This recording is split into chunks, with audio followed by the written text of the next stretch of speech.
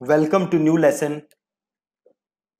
आज के लेसन में मैं आपको एक बिल्कुल बेसिक गूगल सर्च ऐड बना के दिखाऊँगा। बिल्कुल बेसिक। जो भी इसमें कॉम्प्लेक्स फीचर्स हैं, उसको हम नहीं देखेंगे। आज बिल्कुल हम बेसिक ऐड बना के देखेंगे ताकि आपको एक आइडिया लग जाए कि ऐड बनती कैसे है from start to end then हम उसकी बेस जो उसकी कॉम्प्लेक्स चीज़ें हैं वो हम आगे के लेसन में देखेंगे धीरे धीरे आज हम एकदम बेसिक देखेंगे। अब देखो, सबसे ज़्यादा मिस्टेक लोग करते क्या हैं? इन डिजिटल मार्केटिंग वो ना कॉम्प्लेक्स चीज़ों के पीछे ज़्यादा भागते हैं and they ignore the basics और फैक्ट ये है कि जो बेसिक्स हैं, अगर आप उनको सही से मास्टर नहीं करोगे देन कॉम्प्लेक्स चीज़ें या एडवांस चीज़ें सीख के कुछ होने नहीं वाला। So first focus on the basics and make sure कि आप उनके मास्टर बन रहे हो, ठीक है? तो आज एक एकदम हम बेसिक कैंपेन बनाते हैं। तो जैसे आप अपने डैशबोर्ड में जाओगे ads dot Google dot com आपको एक प्लस साइन क्लिक करना है कैंपेन और देन आपको करना है न्यू कैंपेन अब देखो गूगल आपको यहाँ पे पाँच छह ऑप्शन दे रहा है। क्या कह रहा है गूगल आपसे कि सेलेक्ट द गोल जो कि आप इस कैंपेन से अचीव करना चाहते हो। आपको गूगल बड़े सारे ऑप्शन दे रहा है कि आप क्या चाहते हो इस कैंपेन से? सेल्स चाहते हो लीड्स चाहते हो ट्रैफ़िक चाहते हो ब्रांड अवेयरनेस चाहते हो रीच चाहते हो ऐप प्रमोशन चाहते हो, आप चाहते क्या हो? और लास्ट में एक ऑप्शन दे रहा है आपको वो create a campaign without a goal अब देखो, होता क्या है? अगर आप ये सेल्स सेलेक्ट करोगे तो गूगल करेगा क्या? गूगल आपको आपके गोल के हिसाब से जो भी फीचर्स हैं, वो दिखाएगा। ठीक है? गूगल क्या करेगा? सपोज़ करो आपने सेल्स सेलेक्ट किया तो आगे जो गूगल है, आगे एड बनाने का जो प्रोसेस है, वो सेल्स के अकॉर्डिंग कर देगा। अगर आपने सेलेक्ट किया लीड तो गूगल करेगा क्या? आगे के जो ऑप्शन है जो भी आगे आप ऐड बनाते हो तो जो भी ऑप्शन आते हैं ना, वो इसी के हिसाब से कस्टमाइज कर देगा। जो लीड्स के लिए बेस्ट सेटअप होना चाहिए ना गूगल के हिसाब से, आगे आपको वही ऑप्शन दिखेंगे। अगर आप लेते हो create a campaign without a goal इसका मतलब है आप सारी चीज़ों को खुद सेटअप कर सकते हो। आप ये डिसाइड कर सकते हो कि आपको कौन सा ऑप्शन चाहिए, कौन सा ऑप्शन नहीं चाहिए। सारा कंट्रोल आपके पास। ठीक है? तो हमारे लिए बेस्ट सिनेरियो क्या है? Create a campaign without a goal हम अपने हिसाब से सारी चीज़ों को सेट करेंगे। हम गूगल को अलाउ नहीं करेंगे कि भैया, तुम सेट करके दो। ठीक है? तो अभी हम करेंगे create a campaign without a goal मैं आगे के लेसन में आपको ये सेलेक्ट करके भी दिखा दूँगा। फिर आपको एक और आइडिया हो जाए कि एग्जैक्टली गूगल इनसे करता क्या है। अभी के लिए हम क्या करेंगे? Create a campaign without a goal then देखो, आपसे गूगल पूछ रहा है कि किस टाइप का कैंपेन बनाना चाहते हो? सर्च बनाना चाहते हो? डिस्प्ले बनाना चाहते हो? शॉपिंग बनाना चाहते हो? वीडियो ऐप स्मार्ट टैग्स आप कौन सी कैंपेन बनाना चाहते हो? तो हम बनाना, अभी हम क्या बना रहे हैं? सर्च एड है ना? तो हम लेंगे सर्च देन आपसे पूछ रहा है कि अगेन आप क्या चाहते हो इस कैंपेन से? वेबसाइट विज़िट चाहते हो, फ़ोन कॉल चाहते हो, ऐप डाउनलोड। अगेन देखो, होगा क्या? आप जो सेलेक्ट करोगे गूगल आगे का सेटअप उसी के हिसाब से कस्टम कर देगा आपके लिए। अगेन, हमें वो नहीं चाहिए तो हम क्या करेंगे? कॉन्टिन्यू अब आपसे गूगल कह रहा है कि कैंपेन का नाम लिखो। ठीक है? तो सपोज़ करो, मैं ट्रैफ़िक भेज रहा हूँ अपनी वेबसाइट पे। ठीक है? Deepak Singh marketing dot com पे। तो मैंने, और मेरा गोल क्या है? लीड जनरेट करना। ठीक है? या फिर सपोज़ करो मेरा गोल है हाँ चलो लीड जनरेट ही समझ लेते हैं। तो यहाँ पे मैं लिख दूँगा कैंपेन नेम लीड जनरेशन और देन मैं डाल दूँगा डेट अक्टूबर तेईस। ठीक है? देन गूगल आपसे क्या पूछ रहा है? नेटवर्क किस नेटवर्क पे आप चलाना चाहते हो? तो जैसे हमने पहले बात की थी, हमें ये दोनों क्या कर देने हैं? हाइड ठीक है? अभी ये जो सेटिंग्स है स्टार्ट डेट एंड डेट आप ये सेट कर सकते हो कि आपको एड कब स्टार्ट करनी है और कब एंड करनी है। आप वो भी सेट कर सकते हो।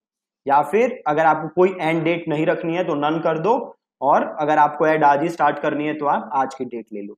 अभी इस कैंपेन यूआरएल ऑप्शंस को रहने देते हैं। इसके बारे में मैं आपको आगे के लेसन में समझाऊँगा और डायनामिक सर्च एड सेटिंग्स भी हम अभी रहने देते हैं। और सपोज़ करो लोकेशन मेरे को रखनी है दिल्ली। तो यहाँ से हमने किया दिल्ली को टारगेट और लोकेशन ऑप्शन में मैंने पहला वाला ऑप्शन सेलेक्ट कर लिया। ठीक है लैंग्वेज मैं कर देता हूँ ऑल ठीक है, ये वाला जो ऑडियंस है, यहाँ पे हमें कुछ सेलेक्ट नहीं करना। ये क्या है? ये अगेन आपको मैं आगे के लेसन में समझाऊँगा। अभी हमें कुछ नहीं करना है। देन आ रहा है बजट तो सपोज़ करो मैं बजट रख रहा हूँ हज़ार। देन गूगल मुझसे पूछ रहा है बिड कौन से बिड रखना चाहते हो? और सेलेक्ट बिड स्ट्रेटेजी डायरेक्टली तो मैंने ये क्लिक किया और मैंने यहाँ पे क्लिक किया मैनुअल सीपीसी जैसे मैंने आपको बताया था मोस्ट ऑफ़ द टाइम्स हम क्या यूज़ कर रहे होंगे? मैनुअल सीपीसी देन आएगा शो मोर सेटिंग्स कन्वर्जन अभी आपको नहीं देखना। बाद में समझाऊँगा आपको। एड शेड्यूल जैसे हमने बात की थी कि एड शेड्यूल स्टार्ट जब हम करेंगे कैंपेन तो हमें नहीं लेना। आगे जाके हम लेंगे। देन आया एड रोटेशन अगेन हमने इसके बारे में बात कर रखी है तो मैंने ले लिया डू नॉट ऑप्टिमाइज देन आ रहा है एड एक्सटेंशन अभी के लिए हमें एड एक्सटेंशन को भी टच नहीं करना। तो मैंने किया सेव एंड कॉन्टिन्यू ठीक है? आप देख सकते हो, अभी तक जो भी आपने किया, उसमें चार से पाँच ऑप्शंस हैं जो हमने अभी डिस्कस नहीं किया, बाकी सारे हमने डिस्कस कर रखे थे। देन आपसे गूगल पूछ रहा है एड ग्रुप का नाम। अब देखो, अब आप कर क्या सकते हो? आप एक एड ग्रुप के अंदर मल्टीपल कीवर्ड लिख सकते हो। ठीक है? एक एड ग्रुप के अंदर कितने कीवर्ड लिख सकते हो? Multiple keyword. अभी के लिए हम क्या करते हैं? इस एड ग्रुप के अंदर मल्टीपल कीवर्ड लिखते हैं। देन कल के लेसन में मैं आपसे बात करूँगा कि क्या ये अप्रोच सही है कि नहीं है। तो यहाँ पे सपोज़ करो मैं एड ग्रुप का नाम लिख देता हूँ। मैं लिख देता हूँ डिजिटल मार्केटिंग ठीक है? देन गूगल पूछ रहे डिफ़ॉल्ट बिड कि भैया एक क्लिक के कितने पैसे देना चाहते हो? तो सपोज़ मैंने लिख दिया पचास रुपए। ठीक है? देन गूगल मुझसे पूछ रहा है कि आप अपने कीवर्ड का, अपने जो भी कीवर्ड्स हैं वो यहाँ पे लिखो। तो सपोज़ मैंने यहाँ पे लिखा डिजिटल मार्केटिंग एजेंसी ठीक है? ये मेरा कीवर्ड है। अब देखो, इस कीवर्ड को मैंने ऐसे लिखा मतलब ये कौन सा कीवर्ड है? ये है ब्रॉड मैच अब अगर मैं इसके आगे पीछे ये लगा दूँ तो ये क्या हो गया? एग्जैक्ट मैच ठीक है? तो मैंने एक कीवर्ड लिखा, मैं एक और कीवर्ड लिखता हूँ, इसको मैं लिख देता हूँ बेस्ट डिजिटल मार्केटिंग एजेंसी और इसके आगे पीछे भी मैं ये स्क्वायर ब्रैकेट्स लगा देता हूँ। ठीक है? हो गया? दो कीवर्ड लिख दिए, मैं एक और कीवर्ड लिख देता हूँ। ऑनलाइन मार्केटिंग एजेंसी और इसके आगे पीछे भी ब्रैकेट लगा देते हैं। और एक और कीवर्ड लिखता हूँ मैं। इसके आगे पीछे भी ब्रैकेट लगा देते हैं। Digital marketing company. ठीक है? ये लिख दिया। और इसे मैं करता हूँ सेव एंड कंटिन्यू ठीक है? अब गूगल आपसे क्या कह रहा है? एड बनाने के लिए कह रहा है। क्या कह रहा है गूगल कि भैया एड बनाओ। तो सबसे ऊपर क्या आपसे पूछ रहा है? Google. Final URL right? Final URL final URL का मतलब क्या है? यूज़र जब आपकी एड पे क्लिक करेगा तो किस यूआरएल पे जाएगा? ठीक है? तो फॉर एग्ज़ाम्पल ये है मेरा यूआरएल राइट मैं चाहता हूँ यूज़र को यहाँ भेजना। तो मैंने ये कॉपी किया और यहाँ पे यूआरएल मैंने पेस्ट किया। ठीक है, देखो आपको यहाँ पे दिख रहा है यूआरएल देन गूगल पूछ रहा है हेडलाइन क्या हेडलाइन लिखना चाहते हो? अब हेडलाइन के देखो लिमिट क्या है? Character limit thirty thirty character limit है। तो मैंने यहाँ पे लिखा डिजिटल मार्केटिंग एजेंसी अभी आज जस्ट मैं बेसिक एड बना रहा हूँ। कल हम इस एड का ऑडिट करेंगे और फिर हम देखेंगे कि क्या चीज़ें हैं जो इसमें खराब की हैं, क्या चीज़ें हैं जो इसको जिसे नहीं करना। ठीक है? तो सपोज़ मैंने हेडलाइन क्या लिखी? डिजिटल मार्केटिंग एजेंसी अब देन मेरे से गूगल कह रहा है हेडलाइन टू अब आप यहाँ एड देख सकते हो। पहली हेडलाइन यहाँ पे आ गई है digital marketing agency then headline two है क्या? डबल योर रिवेन्यू ठीक है? देन गूगल बोल रहा है कि भैया हेडलाइन थ्री है तो वो भी लिख सकते हो। तो यहाँ पे मैं लिख देता हूँ अपना नाम। अब आगे गूगल मेरे से क्या कह रहा है? डिस्प्ले पाथ डिस्प्ले पाथ और फाइनल यूआरएल में देखो फ़र्क है। डिस्प्ले पाथ वो होता है जो यूज़र को दिखता है। फॉर एग्ज़ाम्पल सपोज़ करो मैंने सर्च मारा इंटीरियर डेकोरेटर ठीक है, मैंने क्या सर्च मारा? इंटीरियर डेकोरेटर अब देखो, ये वाला देखते हैं। अब इसको क्लिक करो।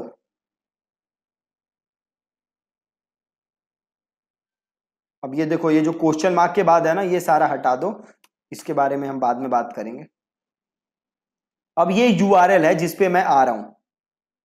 क्या है U R L M Y K dash Berlin dot com slash menu तो ये क्या है आपका? ये है आपका फाइनल यूआरएल क्या है जी? फाइनल यूआरएल बट अगर मैं एड देखूँ तो एड में क्या दिख रहा है? M Y K dash Berlin dot com slash interior slash design आपको दिख कुछ और रहा है और ये खुल कुछ और रहा है। राइट तो अब ये जो दिख रहा है, इसको हम क्या कहते हैं? इसको हम कहते हैं डिस्प्ले पाथ मतलब यूज़र को क्या दिखेगा? वो क्या होता है? डिस्प्ले पाथ और यूज़र अल्टीमेटली जहाँ जाएगा, उसको हम कहते हैं फाइनल यूआरएल ठीक है? अब ये है डिस्प्ले पाथ तो पाथ वन में मैं लिख देता हूँ डिजिटल और पाथ टू में लिख देता हूँ मार्केटिंग देन गूगल मुझसे कह रहा है क्या लिखने के लिए? डिस्क्रिप्शन ठीक है? तो अब हम लिखेंगे डिस्क्रिप्शन तो लिखते हैं we help businesses to double revenue in 90 days. Click here to schedule your free call. ये मैंने लिख दिया डिस्क्रिप्शन ठीक है? एक डिस्क्रिप्शन लिखा। अब मैं चाहूँ तो और डिस्क्रिप्शन लिख सकता हूँ। ठीक है? तो सपोज़ मैंने एक और डिस्क्रिप्शन लिखता हूँ।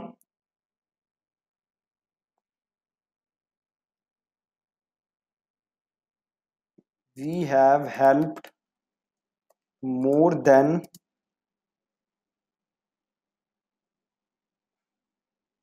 hundred and twenty companies in the last one year ठीक है? और उसके बाद अभी ये यूआरएल ऑप्शन छोड़ दो, ये भी हम बाद में डिस्कस करेंगे कि ये यूआरएल ऑप्शन क्या है। तो अभी तक हमने क्या किया? हमने न्यू टेक्स्ट ऐड किया और फाइनल uh, यूआरएल में हमने अपना फाइनल यूआरएल डाला जहाँ हम यूज़र को भेजना चाहते हैं। देन हमने अपनी हेडलाइन लिखी वन और देन हमने हेडलाइन लिखी टू देन हमने हेडलाइन लिखी थ्री देन हमने लिखा अपना डिस्प्ले पाथ देन हमने लिखा डिस्क्रिप्शन वन और देन हमने लिखा डिस्क्रिप्शन टू यूआरएल ऑप्शन को हमने कुछ नहीं किया और हमने किया सेव एंड कॉन्टिन्यू राइट और ये कर दिया हमने कॉन्टिन्यू टू कैंपेन अब इधर आते हैं गूगल एड्स पे और इधर जाते हैं कैंपेन पे। आप देख सकते हो ये रहा कैंपेन जो अभी मैंने बनाया था लीड जनरेशन अक्टूबर तेईस। तो अभी मैंने किया क्या? एक सिंपल सा कैंपेन बनाया। उस कैंपेन के अंदर मैंने एक एड ग्रुप बनाया और उस एड ग्रुप के अंदर मैंने एक एड बनाई। अभी का, काफ़ी सारे ऑप्शन थे जो हमने नहीं देखे हैं वो हम आगे के लेसन में देखेंगे।